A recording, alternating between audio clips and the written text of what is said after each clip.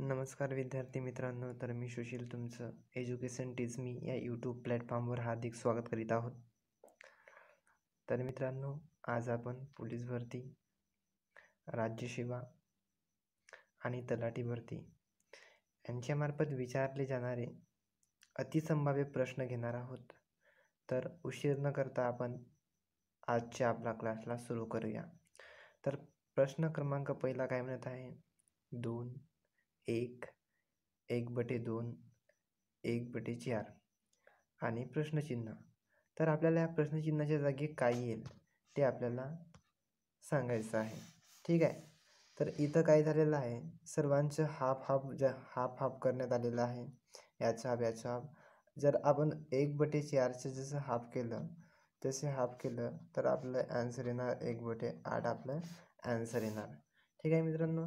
एक बटे आठ काय येणार आपलं? ॲन्सर येणार.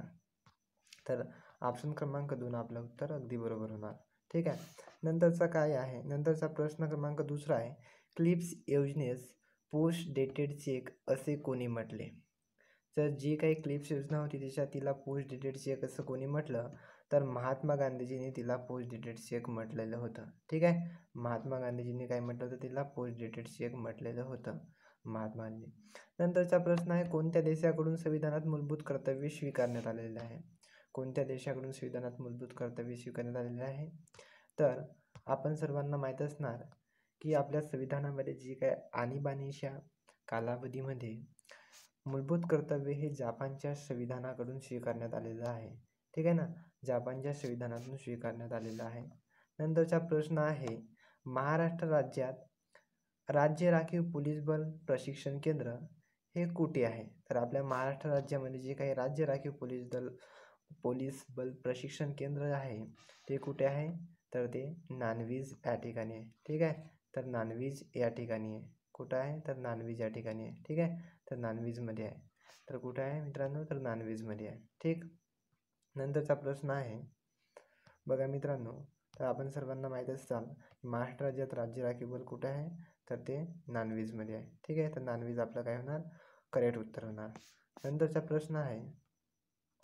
जसं ए बरोबर त्रेसष्ट आणि बी बरोबर अठरा असेल तर अंडर रूटमध्ये ए प्लस बी याचं होल ऑफ स्क्वेअर बरोबर किती असणार? तर विद्यार्थी मित्रांनो इथं काही इथं काय करायचं आहे? सिम्पली आपल्याला इथं त्रेसष्ट प्लस अठरा करायचं आहे. समजलं? इथं त्रेसष्ट प्लस जसे अठरा केलं तुम्ही त्रेसष्ट प्लस अठरा केलं तर एक्याऐंशी येतो. ठीक आहे एक्याऐंशी येतो. आणि आपल्याला एक्याऐंशी. आणि आपल्याला काय दिलेलं आहे इथं? इथं असं करा म्हणून दिलेलं आहे की ही एक्याऐंशी गुन्हेला एक्याऐंशी आणि ॲसं दिलेलं आहे अंडर रूट तर सिम्पली सिम्पली काय ते अंडर रूटचा मिनिंगच वन बटे टू होते आणि एक्याऐंशीचा स्क्वेअर समजा याचा काटून घ्या. वन बटे टू हा कॅन्सल होणार. म्हणजे सिम्पली आपलं उत्तर काय होणार? आपलं उत्तर होणार एक्याऐंशी. आपलं उत्तर काय येणार? तर आपलं उत्तर येणार एक्याऐंशी आपलं उत्तर येणार मित्रांनो. ठीक आहे? तर एक्याऐंशी आपलं काय येणार? उत्तर येणार. ठीक आहे? एक्याऐंशी आपलं उत्तर येणार. नंतरचा प्रश्न आहे जो गोलपिटा कविता संग्रह आहे हा कोणी लिहिला? तर गोलपिटा कविता संग्रह अतिशय महत्त्वाचा असा प्रश्न आहे गोलपिटा कविता संग्रह हा कोणी लिहिला? तर जो काही गोलपिटा कविता संग्रहालय आहे हा नामदेव ठसाड यांनी लिहिलेला आहे मित्रांनो. कोणी लिहिलेला आहे? तर गोलपिठा कविता संग्रहालय जो काही आहे हा नामदेव ठसाड यांनी लिहिलेला संग्रह आहे. ठीक आहे? नामदेव ठसाड यांनी लिहिलेला संग्रह आहे. नंतरचा प्रश्न आहे संशय कल्लोड हे नाटक कोणी लिहिले? ठीक आहे. संशय कल्लोड हे नाटक कोणी लिहिले? तर गोविंद बल्लाळ देवळ यांनी संशय कल्लोड हे नाटक लिहिले विद्यार्थी मित्रांनो. ठीक आहे? गोविंद वल्लभ देवळ यांनी संशय कल्लोळ हे नाटक लिहिलेलं आहे. नंतरचा प्रश्न आहे टोपी ऑलिम्पिकमध्ये भारताच्या लवलीना बोगोहेन ही कोणत्या क्रीडा प्रकारात ही कोणत्या क्रीडा प्रकारामध्ये तिने कांस्य पदक मिळवलेलं आहे? ठीक आहे ना? लवलीना बोरगान. तर हिनं आपल्या सर्वांना माहीत आहे ही लवलीना जी बोरगान आहे बास्किंग याच्यामध्ये प्रसिद्ध आहे. ठीक आहे ना? बॉक्सिंगमध्ये प्रसिद्ध आणि तिने बॉक्सिंग याच्यामध्ये क्रीडा या प्रकारात कांस्य पदक मिळवलेले आहे. ठीक आहे. नंतरचा प्रश्न आहे एका दुकानदाराने दहा वस्तूंना खरेदीवर एक वस्तू जशी मोफत दिली समजा तर त्याला शेगडी तर त्याने शेकड्या किती टक्के सूट दिली? असं म्हणायचं आहे शेकड्या किती टक्के त्याने सूट दिली? समजा दहा वस्तूंवर दहा वस्तूंना खरेदीवर एक वस्तू मोफत दिली समजा त्याने. असं काय आहे? दहा वस्तूंना एक वस्तू मोफत दिली समजा. एक वस्तू मोफत दिली ही दहा आणि प्लस इथं एक करून घ्यायचं. म्हणजेच अकरा करून घ्यायचं ठीक आहे? म्हणजेच अकरा करून घ्यायच्या अकरा. आणि किती टक्के सूट दिली तर टक्के विचारत आहे आपल्याला त्यामुळे हंड्रेड येणार बरोबर काय येणार? बरोबर हंड्रेड बरोबर हंड्रेड बरोबर हंड्रेड अकरा येणार. त्यामुळे जे काही आपलं उत्तर आहे ते आपलं उत्तर येणार. हंड्रेड छेद अकरा येणार ठीक आहे? हंड्रेड शेड अकरा हे आपलं उत्तर येणार. चला तर पुढच्या प्रश्नाकडे वळूया. नंतरचा प्रश्न आहे अडीच किलोग्रॅम जो अडीच किलोग्रॅम आहे त्याचे पाचशे ग्रॅमची असलेले गुणोत्तर किती आहे ते आपल्याला सांगायचं आहे. अडीच किलोग्रॅमचे पाचशे ठीक आहे ना? अडीच किलोग्रॅम म्हणजे दोन हजार पाचशे ग्रॅम एवढं होतं आपण सर्वांना माहीत आहे ठीक आहे? अडीच किलोग्रॅम म्हणजे दोन हजार पाचशे ग्रॅम आणि या दोन हजार पाचशे ग्रॅमची ह्या पाचशे ग्रॅमसोबत असलेले गुणोत्तर आपल्याला काढायचे आहे. तर सिम्पली काय करायचं आपण? शून्य शून्य काढून घ्यायचं. हे पाच एकम पाच आणि पाच पाच पंचवीस. तर पाच गुणोत्तर पाच छेद एक. पाच छेद एक एवढं आपलं उत्तर असणार आहे. ठीक आहे? तर पाच छेद एक आपलं उत्तर असणार आहे. पाच छेद एक आपलं उत्तर असणार आहे विद्यार्थी मित्रांनो. ठीक आहे? पाच छेद एक काय असणार आहे? आपलं उत्तर असणार आहे. तर ऑप्शन क्रमांक दोन आपलं योग्य उत्तर आहे. नंतरचा प्रश्न आहे राष्ट्रकुल साम्राज्याची स्थापना खालीलपैकी कोणी केली? तर राष्ट्रकुल साम्राज्याची जी काही स्थापना आहे ती स्थापना केलेली आहे दंतीदुर्ग यांनी. ठीक आहे. राष्ट्रकुल यांची स्थापना कोणी केली? तर दंतीदुर्ग यांनी राष्ट्रकुल साम्राज्याची स्थापना केलेली आहे. ठीक आहे. दंतीदुर्ग यांनी राष्ट्रकुल याची स्थापना केलेली आहे. ठीक आहे विद्यार्थी मित्रांनो. चला तर पुढच्या प्रश्नाकडे वळूया आपण.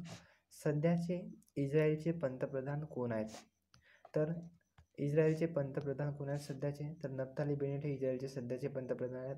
आपण सर्वांना माहीत असणार नफ्ताली बेनेट हे इस्रायलचे सध्याचे पंतप्रधान आहेत. ठीक आहे. नंतरचा प्रश्न आहे गोलपिटा हा कविता संग्रहालय कुणाचा आहे? गोलपिटा हा कविता संग्रहालय कुणाचा आहे? तर अत्यंत महत्त्वाचा असं प्रश्न आहे तर गोलपिटा हा कविता संग्रहालय चला कमेंट करा पटकन. तर गोलपिटा हा कविता संग्रहालय संग्रहालय आहे. ठीक आहे कविता संग्रहालय नाही रे कविता संग्रह. तर हा कुणाचा आहे? तर नामदेव ठसाड यांचं आहे. कुणाचा? नामदेव ठसाड यांचा आहे. गोलपिटा हा कविता संग्रहालय संग्रह कुणाचा आहे? तर नामदेव ठसाड यांचं गोलपिटा हा कविता संग्रह आहे. चला आजच्या सेकंड लास्ट क्वेश्चनकडे वळूया आपण. जर एचे उत्पन्न बीच्या बारा टक्क्यांनी जास्त आहे ठीक आहे? जर एचे उत्पन्न आहे ते बीच्या बारा टक्क्यांनी जास्त आहे ठीक आहे? याचे उत्पन्न बीच्या बारा टक्क्यांनी जास्त आहे ठीक आहे? याचे उत्पन्न बीच्या बारा टक्क्यांनी जास्त आहे तर बीचे उत्पन्न एच्या उत्पन्नापेक्षा किती टक्क्यांनी कमी आहे? बघा अशा क्वेश्चनमध्ये काय? आता टक्के आणि कमी म्हणत आहे. टक्के आणि कमी म्हणत आहे. तर याच्यामध्ये काय करायचं? जे काही जास्त आहे ते लिहून घ्यायचं. किती टक्के आहे? जास्त आहे तर बारा टक्के जास्त आहे. जास्त आहे ना? ओके. आणि आपल्याला किती टक्क्यांनी कमी आहे? कमी काढायचं आहे म्हणून म्हणून इथं आपण हंड्रेड प्लस बारा करून घ्यायचं. म्हणजेच एकशे बारा करून घ्यायचं. आणि गुन्हे शंभर करून घ्यायचं. गुन्हे शंभर करून घ्यायचं. जे काही उत्तर मिळेल आपल्याला मिळून जाईल. किती उत्तर येणार? ओके. सर बारा सौ बाराशे भागिले जसं एकशे बारा केलं. म्हणजेच सिम्पली वन येणार. ठीक आहे? वन येणार नंतर झिरो येणार आणि फाईंड येणार सात येणार. ठीक आहे? तर ऑप्शन क्रमांक दोन आपलं योग्य उत्तर राहील. ठीक आहे? ऑप्शन क्रमांक दोन आपलं योग्य उत्तर राहील. ठीक आहे? ऑप्शन क्रमांक दोन आपलं योग्य उत्तर राहील. दहा पॉईंट सात. समजलं ना याचे उत्पन्न बीच्या बारा टक्क्यांनी जास्त आहे तर बीचे उत्पन्न याच्या उत्पन्नापेक्षा किती टक्क्यांनी कमी आहे म्हणत आहे. जेव्हासुद्धा कमी. कमी म्हटलं तर एवढं असं झालं. जसं जास्त म्हटलं नसतं तर काय करायचं? जसं जास्त म्हटलं नसतं तर किती कमी आहे तो काढायचं? जसं बाराने कमी राहिले असतं तर बारा झाले असते.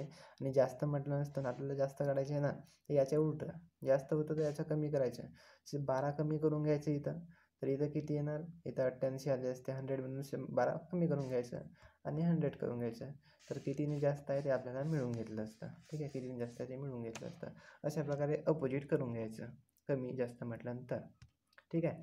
तर लास्टचा क्वेश्चन आहे आजचा. स्त्रीमुक्ती दिन म्हणून कोणाचा दिव जन्मदिन पाळला जातो? स्त्रीमुक्ती दिन म्हणून आपण प्रत्येक वर्षी साजरा करत असतो तर कुणाचा जन्म पाळला जातो? स्त्रीमुक्ती दिन म्हणून कोणाचा जन्म पाळला जातो? तर आपण सर्वांना माहीत आहे सावित्रीबाई फुले यांचा स्त्रीमुक्ती दिन म्हणून जन्म पाळला जातो. ठीक आहे सावित्रीबाई फुले? ठीक आहे सावित्रीबाई फुले. ठीक आहे ना? जन्मदिन.